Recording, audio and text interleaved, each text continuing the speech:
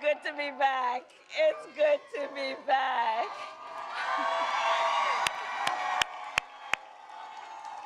Good afternoon. Oh. oh my God. okay. Thank you.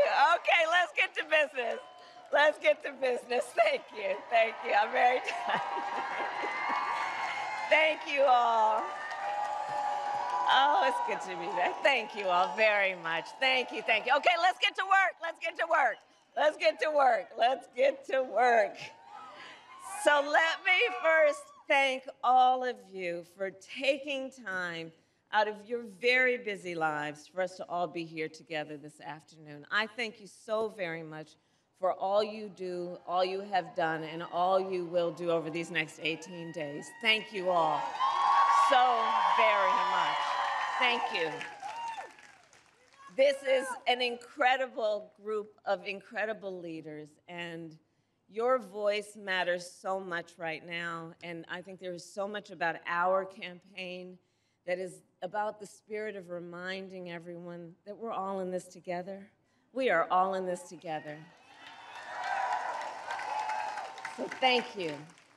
And to all the governors who are here with us today, I'm telling you, they're riding thick. They're riding thick.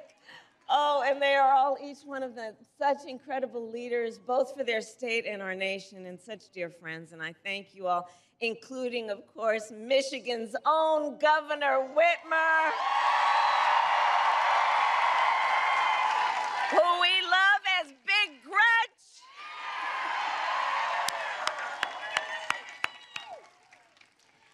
And to the governors, I want to say you've been traveling the country for our campaign, and I'm so deeply grateful for your support. I also want to recognize Senator Stabenow, a champion for Michigan, Representative Scholten, who we will re-elect to the United States Congress, and while we're at it, let's send Representative Slotkin to the United States Senate.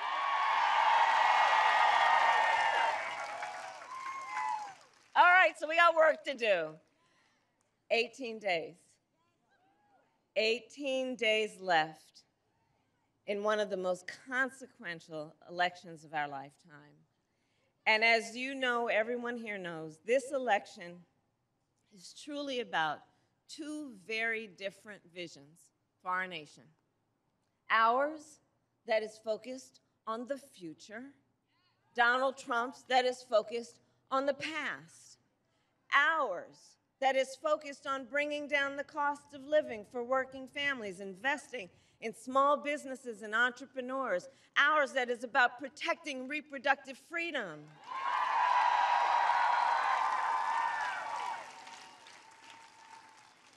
But none of that is what we hear from Donald Trump. Instead, it is just the same old tired playbook. He has no plan for how he would address the needs of the American people.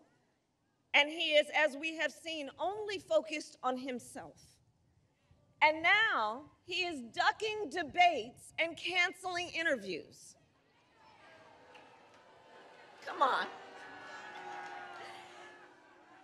And, and check this out his own campaign team recently said it is because of exhaustion. Well, if you are exhausted on the campaign trail, it raises real questions about whether you are fit for the toughest job in the world. Come on. Come on. So, for all these reasons and more, we are here because we know it is time to turn the page. It is time to turn the page because America is ready to chart a new way forward. America is ready for a new and optimistic generation of leadership that is all of us. All of us. Which is why Democrats, Republicans, and independents are supporting our campaign. In fact, earlier this week, over 100 Republican leaders from across the country joined me on the campaign trail, including some who even served in Donald Trump's own administration. The people who know him best, right? And I believe all of this shows that the American people want a president who works for all the people. And that has been the story of my entire career. In my career, I've only ever had one client the people. The people. As a young courtroom prosecutor, I protected women and children. As Attorney General of California, I fought for students and veterans. As Vice President, I have stood up for workers and seniors. And as President, I will stand up for all Americans. All Americans.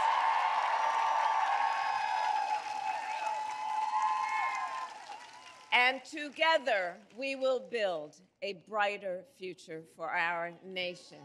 Yes, we will. Because, by the way, we will win. We will win. We will win. Come on.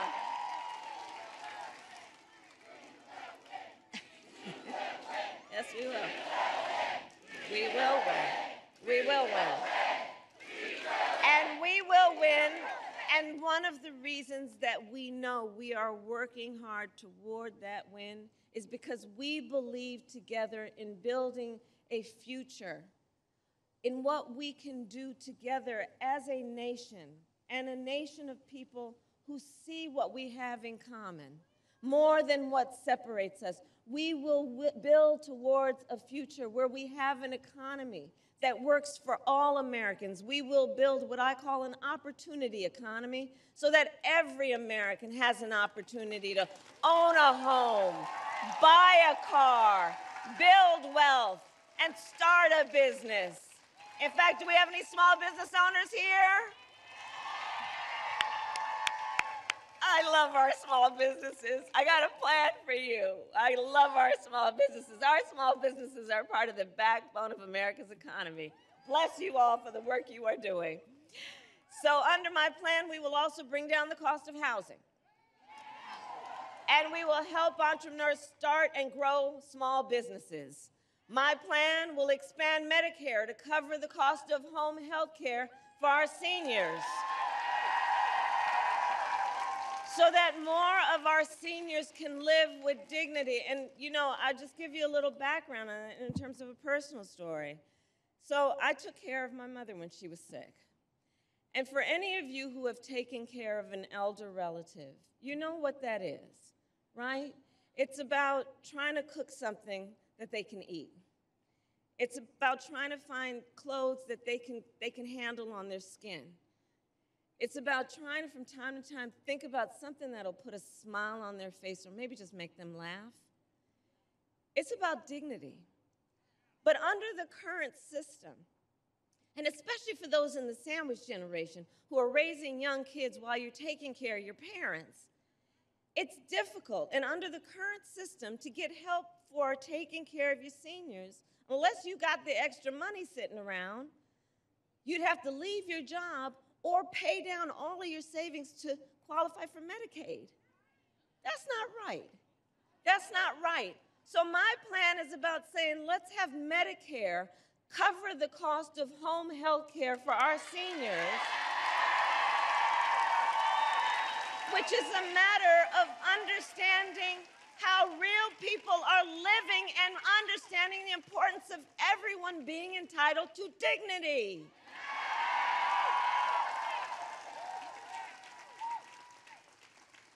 Our plan in terms of an opportunity economy will lower costs on everything from healthcare to groceries. I'll take on corporate price gouging because I've done it before and I will do it again.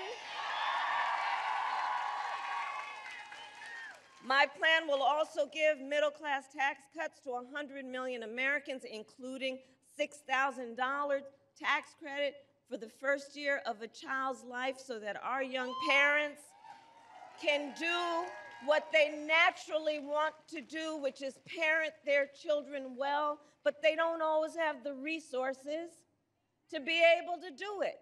So let's help them out so that they can buy a car seat, so that they can buy a crib, so that they can take care of that baby's needs during that critical phase of their development. We all benefit from it.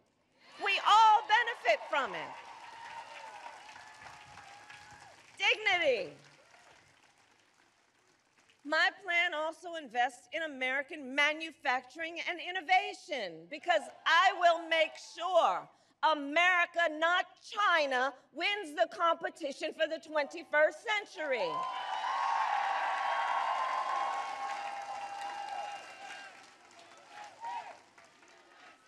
That's right.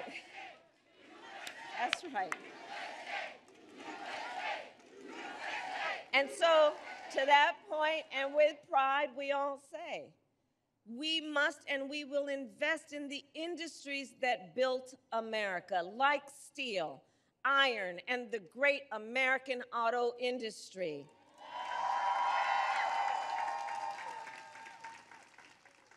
And we will ensure that the next generation of breakthroughs from advanced batteries to electric vehicles are not just invented but built right here in America by American union workers.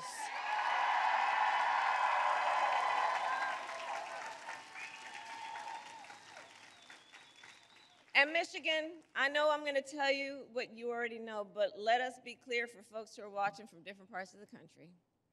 Contrary to what my opponent is suggesting, I will never tell you what kind of car you have to drive, but here is what I will do.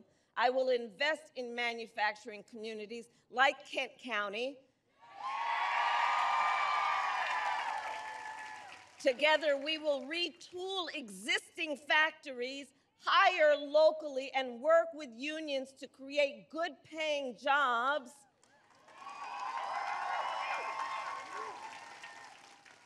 including jobs that do not require a college degree, because here's where I come from. I know a college degree is not the only measure of the skills and experience of a qualified worker.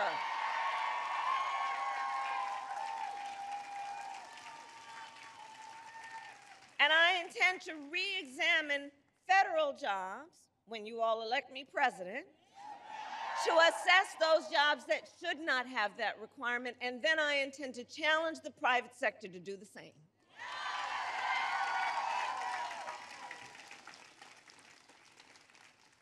Now, all of this is to say Donald Trump has a different approach. He makes big promises, and he always fails to deliver.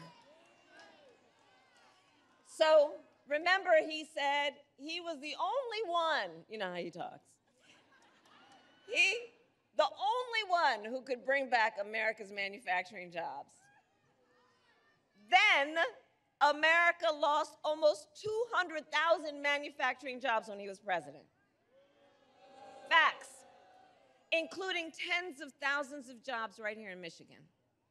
And those losses started before the pandemic, making Donald Trump one of the biggest losers of manufacturing jobs in American history.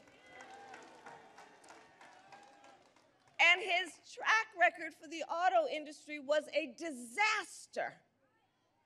He promised workers in Warren that the auto industry would, and I'm going to quote, not lose one plant during his presidency.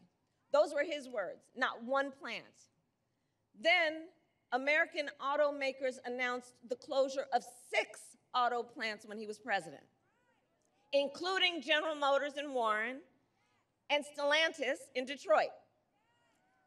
Thousands of Michigan auto workers lost their jobs. And Donald Trump's running mate recently suggested that if they win, they would threaten the Grand River Assembly Plant in Lansing okay? The same plant our administration protected earlier this year, saving 650 union jobs. 650 union jobs.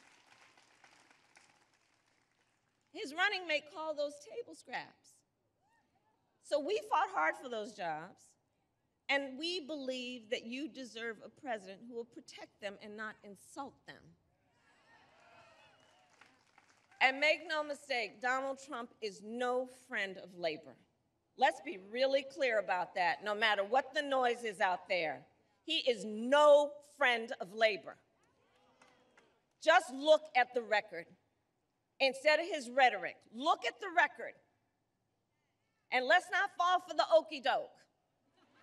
Seriously, he encouraged automakers to move their plants out of Michigan so he could pay, they could pay their workers less. Understand what that was about. So they could pay their workers less. And when the UAW went on strike to demand the higher wages they deserved, Donald Trump went to a non union shop and attacked the UAW. And he said, he said, striking and collective bargaining don't make, quote, a damn bit of sense. A damn bit of difference is what he said exactly. That it doesn't make a, quote, pardon my language, a damn bit of difference is what he said. All right, brother. so, Michigan, you know better. Strong unions mean higher wages, better health care, and greater dignity for union members and for everyone, whether or not you are part of a union. Get that straight. Get that straight. Which is why, when I am president, I will sign the PRO Act into law and make it easier for workers to join a union and negotiate for better pay and working conditions.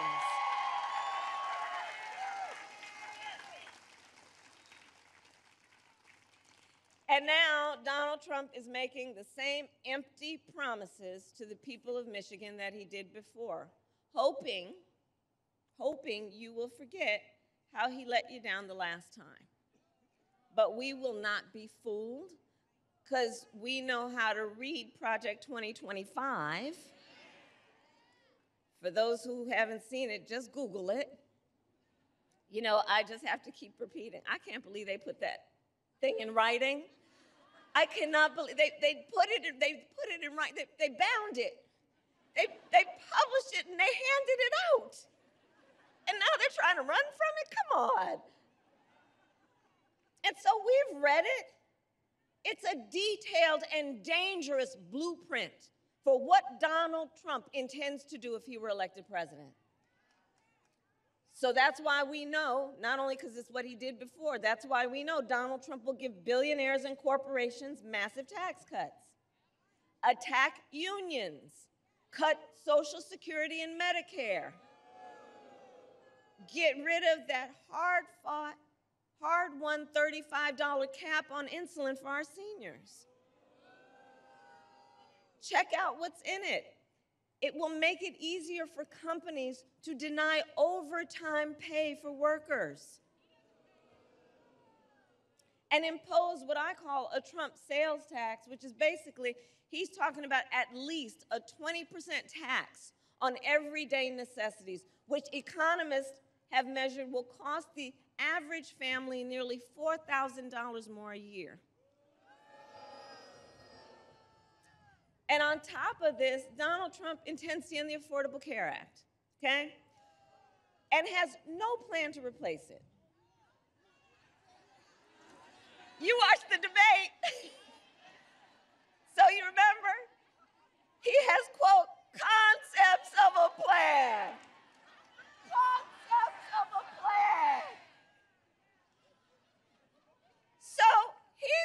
To threaten, he's going to threaten the health insurance of 45, we need a medic over here. We need a medic over here. Let's, let's clear a path so they can come through, please.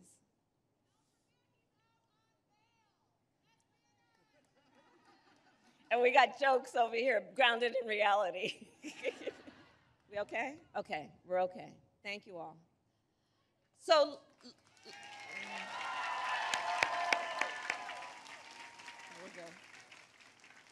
Okay.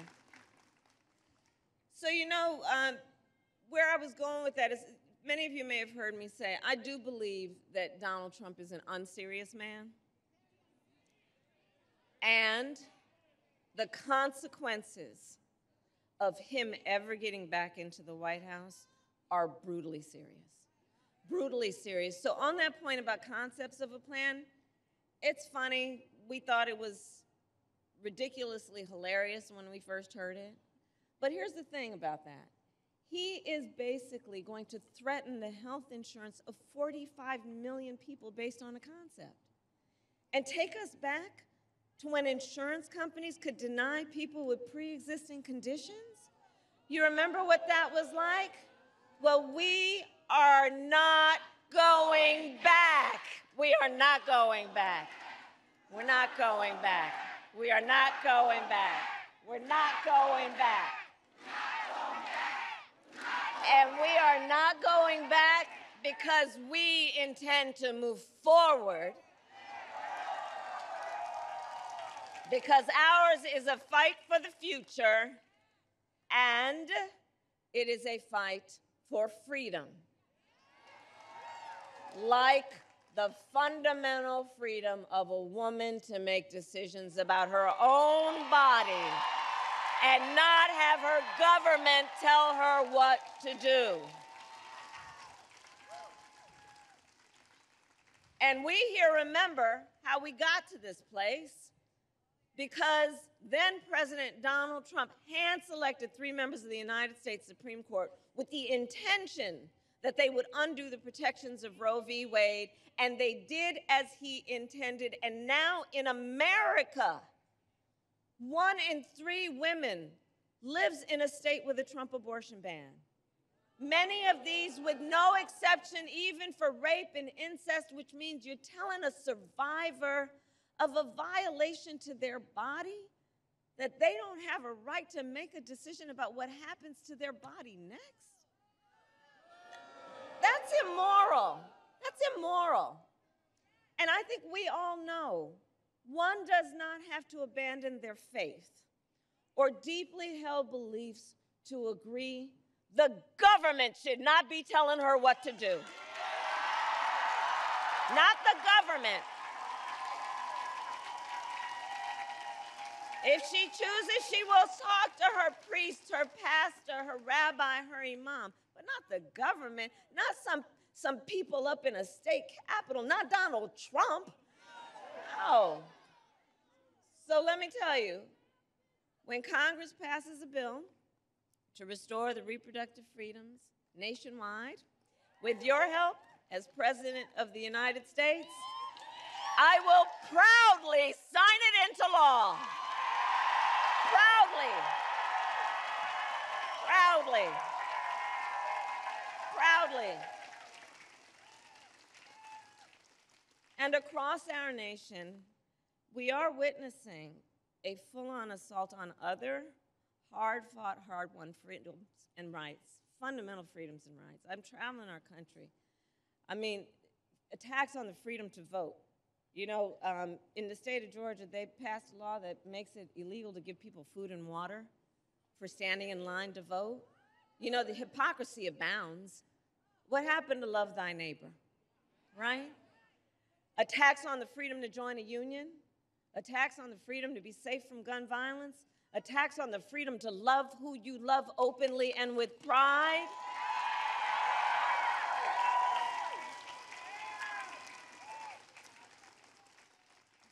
So much is on the line in this election, and you all are spending your precious time here together because we know this is not 2016 or 2020. The stakes are even higher this time. For many reasons, including because just months ago, the United States Supreme Court basically told the former president he is effectively immune no matter what he does in the White House. Right. Because we know, just imagine Donald Trump with no guardrails. Just imagine. He who has vowed he would be a dictator on day one. He who calls Americans who disagree with him the enemy from within. You know where that language comes from? The enemy from within, talking about Americans. He who says he would use the military to go after them, American citizens. He who has called for the quote, termination of the Constitution of the United States of America. And we are clear someone who suggests we should terminate the Constitution of the United States should never again have the privilege of standing behind the seal of the President of the United States. Never again. Never again. Never again.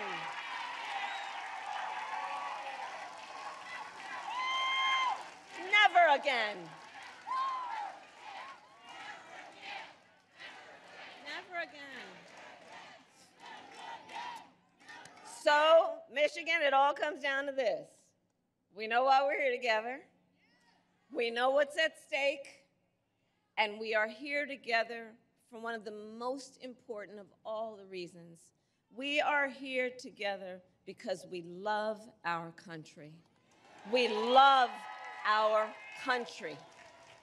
We love our country, and we know that it is one of the highest forms of an expression of love of our country, of patriotism, to then fight for our ideals, to fight to realize the promise of America. That's what our campaign is about. And election day is in 18 short days. Okay?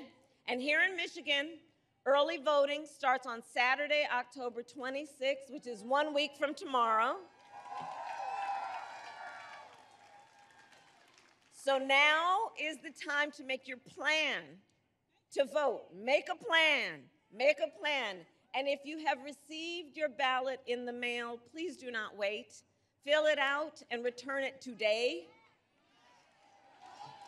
Because, folks, the election is here.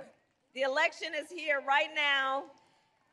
And like I know everybody here knows to do, we've got to energize and organize and mobilize and remind our neighbors and our friends that their vote is their voice.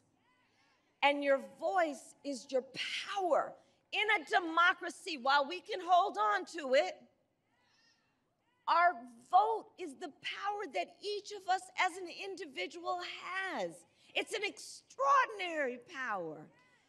And we will not give it away. And we will not let anyone suppress or silence our power. Don't ever let anybody take your power from you.